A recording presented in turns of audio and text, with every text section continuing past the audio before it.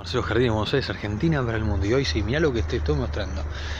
Si les gustan nuestros videos, les invito a que nos den un like, que lo compartan o que nos hagan comentarios. Entonces podemos seguir sumando más jardineros a jardineras a nuestro canal y sigue creciendo y así me ayudan un montón. Hoy les voy a presentar, como están viendo, la columnea, una planta de porte caídizo, como pueden ver, de la América tropical de la zona del Caribe, del trópico de la América, bellísima, que puedes tener interiores y a pura floración. Mira cómo son estas flores, mira lo que son estos. Tenés muchas variedades, te voy a mostrar esta columnea de porte caedizo, de esta floración bien roja, que son, tenés, tenés más variedades, tenés esta de follaje eh, variegado y una floración más anaranjada con, con unos ribetes amarillos. También es un porte un poco menor, mira, la tenés acá, ¿ves? De un porte un poco menor, pero no, no, no, no deja de ser bellísima. ¿eh? Tenés muchas variedades, pero vamos a seguir con esta que se pone enorme, que tiene las hojas lanceoladas, de un verde medio, dependiendo la luz.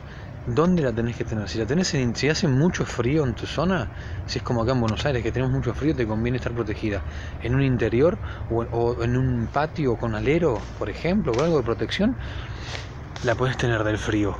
Pero Ojo, cuidado con las heladas porque te la quema. Adaptala, siempre adaptala. Te dije que es de origen tropical. Pues yo insisto mucho con conocer el origen de las plantas yo te voy dando paso por paso hasta incluso el origen para que sepas cómo cuidarla. Insisto, cuidarla del frío y del sol interno, intenso de verano. Si le gusta un solcito en la mañana. El interior es muy muy luminoso. Si te llega algún rayo de luz, lo va a agradecer y te va a florecer. ¿Sabías que esta planta, como dato curioso, atrae colibríes? Hay unos colibríes que es el colibrí mosca por su tamaño, entre otros, que se alimenta, que es uno de los que más alimenta, por ejemplo, que depende mucho de esta planta. Ella crece sobre todo sobre los árboles. ¿Ves? El color. Mira qué intenso. Para interiores. Mira, columnea. Insisto mucho con este nombre lo puedes tener sabiendo que le gusta el riego que se lo hagas tipo lluvia. Y en verano, cálidos, mantener el sustrato húmedo. y en invierno deja que se seque el sustrato para volver a regar, pero no la abandones. Dale un rociado en verano de, de, agua y fertilización un triple 15. Y la vas a tener florecida casi todo el año, con buena luz y buen riego. Insisto mucho con esto ella, como te digo, como es del trópico, le gusta la lluvia, le gusta ser bañada, mira lo que es, mira cómo está, mira cómo se pusieron, muy atrayente para colibríes, por eso ves la forma de la flor, ¿no? Por eso se introduzcan su pico.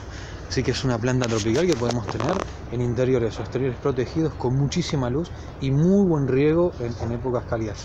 Fertilizada con un triple 15 a partir de la primavera y el verano incluso ya a finales de invierno, estamos a finales de invierno, está protegida esta planta, insisto.